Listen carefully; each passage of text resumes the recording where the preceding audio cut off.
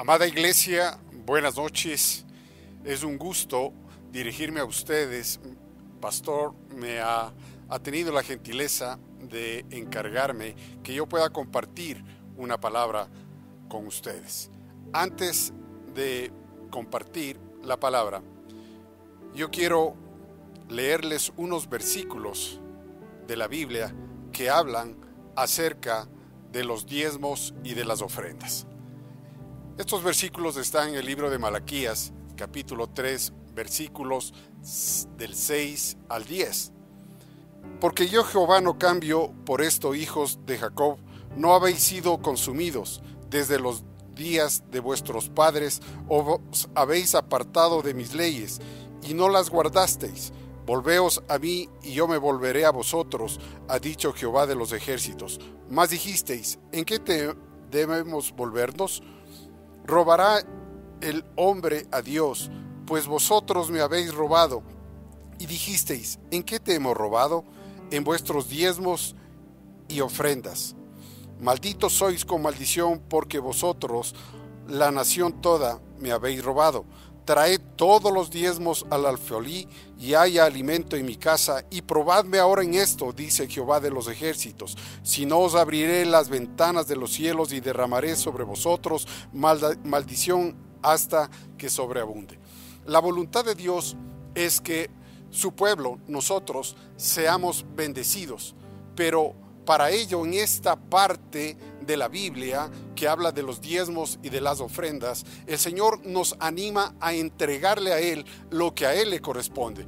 En este caso, si usted que me está escuchando no lo ha hecho, reflexione en estos versículos que acabo de leerlo y con seguridad usted va a entregarle a Dios lo que a Él le corresponde, que es la décima parte de todo lo que entra a su casa.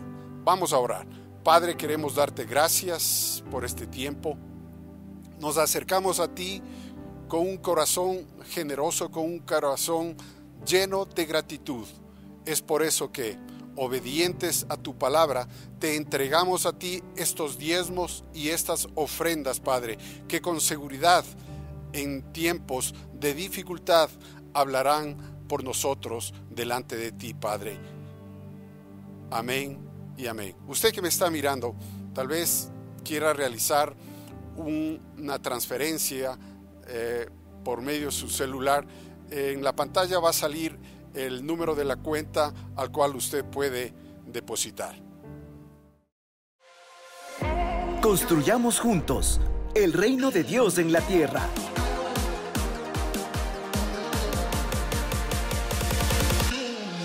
No dejemos de dar. Tu milagro está cerca.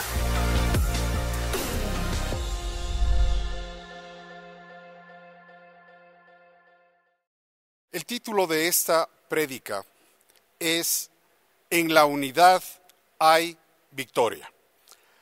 La palabra unidad viene de la palabra hebrea yahad, que significa la acción de estar de acuerdo y en armonía, y en el griego enotes, que significa acción de tener los mismos pensamientos y propósitos. La voluntad de Dios es que nosotros, su pueblo, caminemos en unidad y en acuerdo, ya que es la única manera que nosotros vamos a caminar en victoria y recibir las bendiciones de nuestro Padre. Vamos a ir al libro de Juan, capítulo 17, versículos del 20 al 21. Mas no ruego solamente por estos, sino también por los que han de creer en mí, por la palabra de ellos, para que todos sean uno, como tú, oh Padre, en mí y yo en ti, que también ellos sean uno en nosotros, para que el mundo crea que tú me enviaste. En ese entonces, Jesús, oró por todos y cada uno de los que le seguirían. Oró por usted y oró, también por mí. Pero Jesús hizo una oración que habla de unidad, que habla de protección de toda maldad y también habla de santidad. Jesús oró en unidad entre sus discípulos y entre los creyentes. Qué importante es que su pueblo, nosotros, caminemos en unidad y en acuerdo, en un mismo sentir y también el cuerpo de Cristo. La iglesia tiene que estar unida más aún en este tiempo. Sabemos que los tiempos son difíciles. Sabemos que en este tiempo a lo malo están llamando bueno y a lo bueno malo. Es por eso que es importante que nosotros nos manejemos en unidad y en acuerdo. Usted que me está escuchando a través de este medio, puede orar por otros creyentes, edificar a otros. Pero claro, tenemos que evitar caer en juicio o en crítica, porque ese es el inicio de un desacuerdo, de una desunidad entre nosotros. Y eso no está bien ante los ojos de Dios. Debemos trabajar juntos, edificándonos los unos a los otros, invirtiendo bien el tiempo. Si hay algo que no podemos recuperar, es el tiempo. Y Dios quiere que usted y yo lo invirtamos de una manera correcta, haciendo lo que Él nos ha mandado hacer. Hay muchas cosas que por hacer por el prójimo. Hay muchas cosas que nosotros debemos hacer en el reino de Dios. Y una de ellas es guardar la unidad y el acuerdo entre nosotros, su pueblo. ¿Cómo logramos esto? No dando lugar a discusiones, ya que estas, las discusiones, provocan desunidad es muy fácil juzgar, es muy fácil criticar, es muy fácil murmurar. Pero no se olvide que todo, toda palabra que sale de nuestros labios es escuchada por nuestro Padre. Y también hay una regla de oro, que lo que nosotros sembramos vamos a cosechar. Es por eso que nosotros tenemos que muchas veces silenciar nuestros labios. En el libro de Juan, capítulo 3, versículo 34, hay un mandamiento poderoso. La palabra del Señor dice, un mandamiento nuevo os doy, que os améis unos a otros, como yo os he amado, que también os améis unos a otros. El amor de Dios hacia nosotros es un amor sacrificial. ¿Y por qué digo esto? Porque Dios entregó a su Hijo a través del sacrificio para que nosotros seamos salvos, para que nuestros pecados nos sean perdonados por nuestro Padre. Dios envió a su Hijo a morir en la cruz por usted y por mí. Dios no nos pide sacrificios en este tiempo. Lo que sí demanda de nosotros es obediencia. Y su voluntad es que nos amemos los unos a los otros y que alcancemos este concepto que habla de unidad y habla de acuerdo. Jesús nos dice que si su amor se parece, su amor, mi amor, se parece a su amor, será una evidencia de que realmente somos sus discípulos. Somos sus seguidores.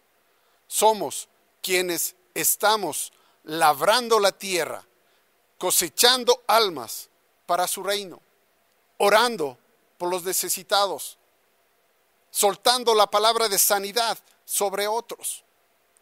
Si es que nosotros nos movemos en el amor de Dios, Él dice, realmente eres mi discípulo. Vamos a leer del libro de Corintios, capítulo 12, versículos del 12 al 27. Porque así como el cuerpo es uno y tiene muchos miembros, pero todos los miembros del cuerpo, siendo muchos, son un solo cuerpo, así también Cristo. Porque por un solo espíritu fuimos todos bautizados en un cuerpo, sean judíos o griegos, sean esclavos o libres, y a todos se nos dio a beber de un mismo espíritu. Además, el cuerpo no es un solo miembro, sino muchos. Si dijere el pie, ¿por qué no soy mano? No soy del cuerpo.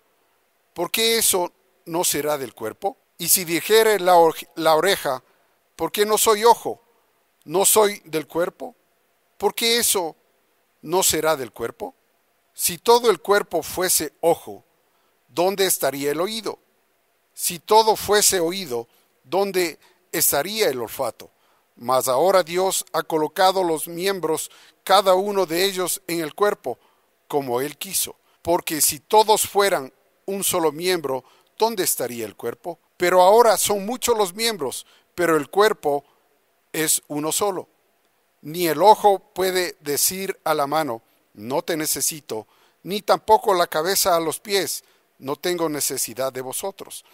Antes bien, los miembros del cuerpo que parecen más débiles son los más necesarios, y aquellos del cuerpo que nos parecen menos dignos, a estos vestimos más dignamente, y los que en nosotros son menos decorosos, se tratan como más decoro, porque los que en nosotros son más decorosos no tienen necesidad, pero Dios ordenó el cuerpo, dando más abundante honor al que le faltaba, para que no haya desaveniencia en el cuerpo, sino en los miembros todos se preocupen los unos por los otros, de manera que si un miembro padece, todos los miembros se, se duelen con él. Y si un miembro recibe honra, todos los miembros con él se gozan.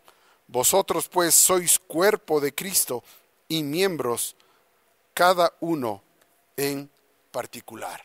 El apóstol Pablo compara la iglesia de Cristo con un cuerpo humano, determinando que cada parte del cuerpo es muy importante y necesario para el buen funcionamiento del mismo. Es muy importante que podamos, el cuerpo de Cristo, trabajar en equipo y que en la unidad en la iglesia sea guardada, reconociendo los dones, las habilidades que puede tener cada miembro de la iglesia. No sea celoso. Usted tiene un don.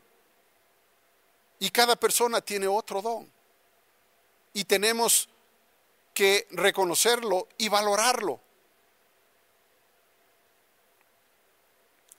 En el libro de Mateo, capítulo 18, versículo 19, la palabra del Señor dice, otra vez os digo que si dos de vosotros se pusieren de acuerdo en la tierra acerca de cualquier cosa que pidieren, le será hecho por mi Padre que está en los cielos.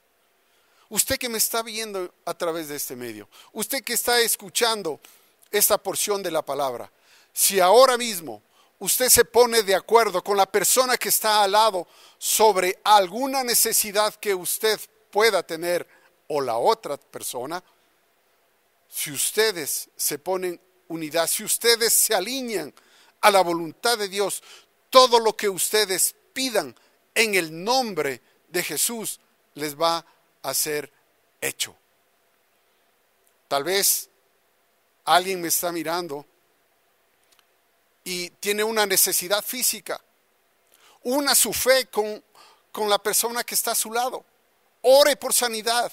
Crea en la voluntad de Dios. La voluntad de Dios es que usted camine en sanidad y en salud divina.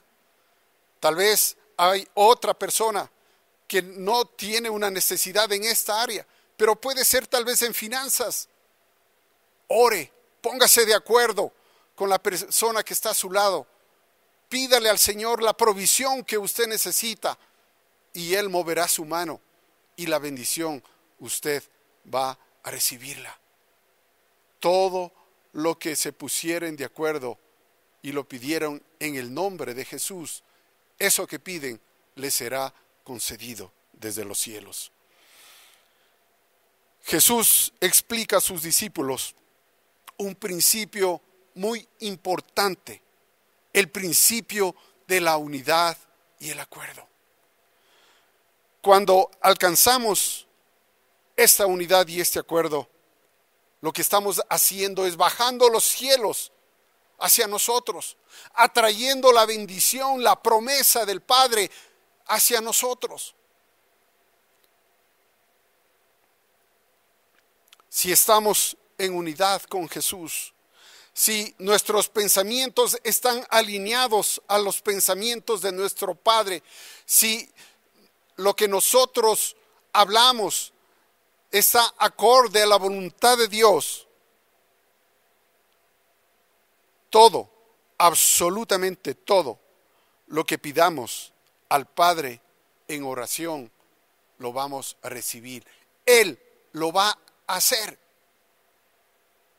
Lo ha hecho ayer, lo está haciendo ahora mismo, ahí donde usted está, en sus lugares de trabajo tal vez, en sus hogares, junto a su familia. Dios es suficientemente capaz de hacer lo que nosotros le pidamos a Él, siempre y cuando esté bajo su voluntad. En el libro de Marcos, capítulo 3, versículos 24 y 25, la palabra del Señor dice, si un reino está dividido contra sí mismo, tal reino no puede permanecer. Y si una casa está dividida contra sí misma, tal casa no puede permanecer. Repito, qué importante es el concepto de la unidad y el acuerdo, más aún en estos días, que son días peligrosos, porque así está escrito en la palabra. Son días peligrosos. Por eso es que nosotros tenemos que batallar contra el enemigo y no dar lugar al diablo para que éste pueda traer desunidad aún en el cuerpo de Cristo.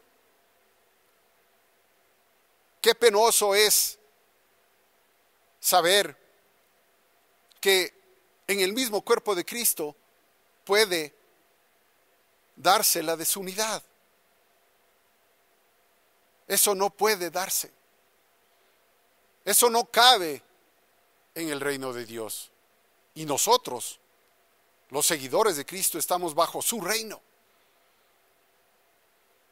Tenemos que bendecir nuestra iglesia. Tenemos que bendecir a cada autoridad que ha sido puesta por Él, por Dios, en ella. ¿Cuándo fue la última vez que bendijo nuestra amada iglesia? Que oró por comunidad de fe, por las iglesias de provincias, por los pastores, por los líderes, por cada autoridad puesta por Dios. Este es el tiempo en que la iglesia de Cristo tiene que brillar. El nombre de Jesucristo tiene que ser levantado y establecido en cada rincón de este país. Este país lo necesita. Y estamos nosotros para establecer el reino de Dios en nuestra nación.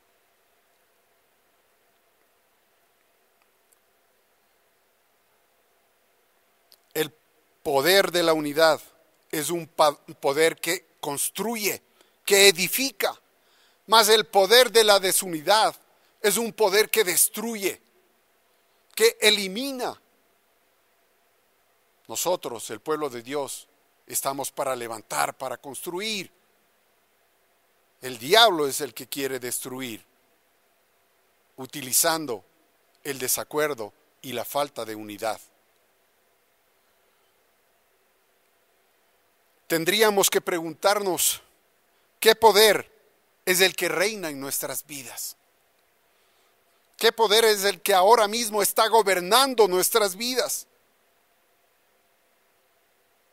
En nuestras casas, en nuestros hogares, en nuestros matrimonios. No permitamos que el enemigo trate de controlar nuestras vidas, trate de controlar nuestros hogares, trate de controlar, controlar nuestros matrimonios. Y si tal vez en sus hogares hay falta de acuerdo, hay falta de unidad, lo que se debe hacer es buscar de Dios, humillarse delante de Él y pedirle que ponga término al conflicto, a la pelea, a la discusión. Todas estas cosas no vienen de Él, no vienen de Dios. Esto es del enemigo, pero es precisamente por ahí que quiere trabajar para que su destrucción sea cada vez más fuerte, pero usted y yo no lo vamos a permitir el reino de Dios está aquí. El reino de Dios se aplica en nuestros hogares. Por eso es que nuestras vidas están llamadas a caminar de gloria en gloria y de victoria en victoria.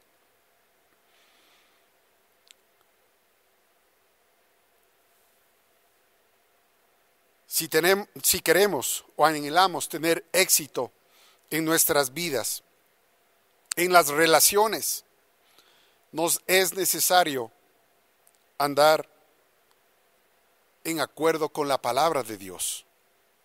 Esta es infalible. La palabra de Dios nunca falla, al igual que Dios nunca falla.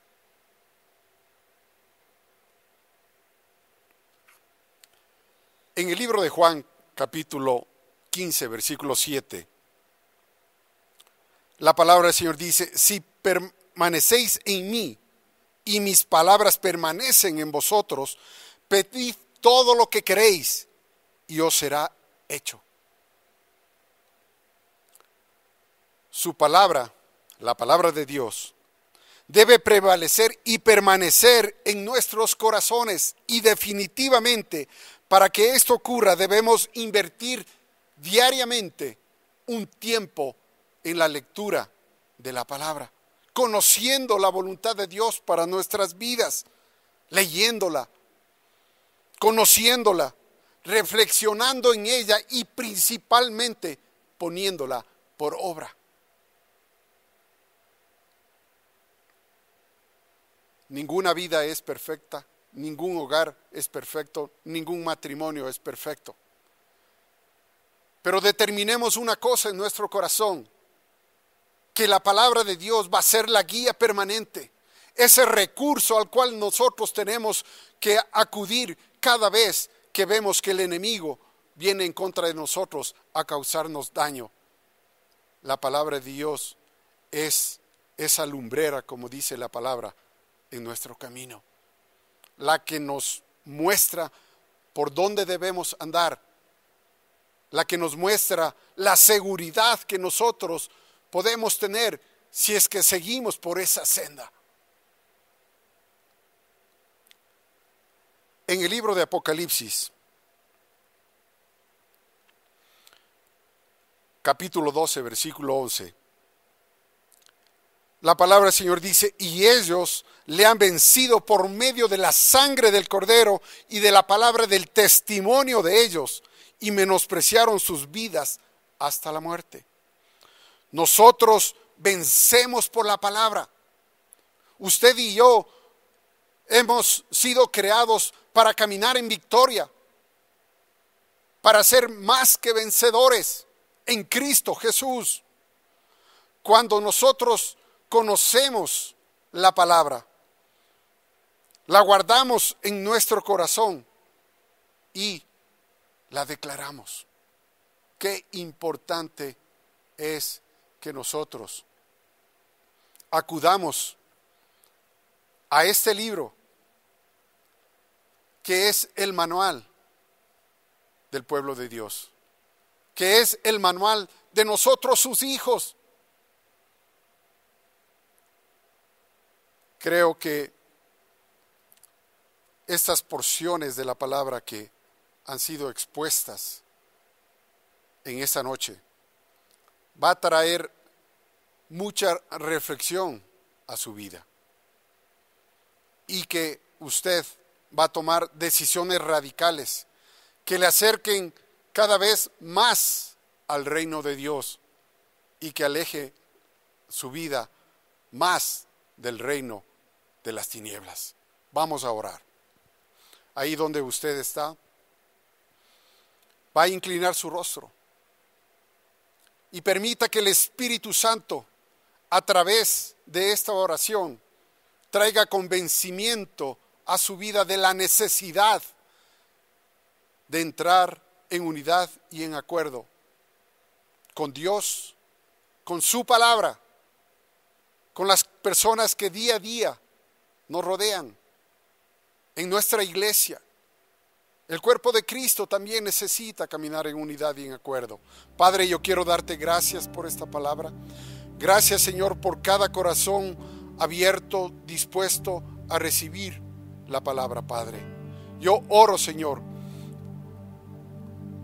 que el acuerdo y la unidad prevalecen en la vida de cada persona que ha recibido esta palabra, más el desacuerdo, la desunidad, sale ahora mismo de sus vidas. Yo ato y reprendo este espíritu de división, este espíritu de, de lucha y contienda en los hogares, en el nombre de Cristo Jesús. Yo también, ahora mismo, desato paz, desato acuerdo entre la pareja, en familias, en hogares, en la iglesia. Gracias Padre Santo. Te alabamos, te bendecimos y te damos a ti toda la gloria y toda la honra en el nombre de Cristo Jesús. Amén y amén. Amigo, amiga, usted que me está escuchando, que tal vez es primera vez que ha recibido la palabra de Dios, le animo a que usted pueda dedicar su vida a Cristo. Decirle, Señor, Quiero recibirte en mi corazón. Quiero que seas tú el Señor de mi vida y de la vida de mi familia. Para ello, te pido, repite conmigo, Señor Jesús, ahora mismo yo me arrepiento de toda falta, de todo pecado que haya cometido hasta este momento. Padre, te entrego todo lo que soy, todo lo que tengo, no me reservo absolutamente nada. Me vacío delante de ti para que seas tú gobernando mi vida y mi corazón. Te recibo a ti como mi Señor y suficiente Salvador. En el nombre de Cristo Jesús. Amén y amén. Muchas gracias. Que Dios les bendiga y que tengan un resto de semana muy poderoso en unidad en acuerdo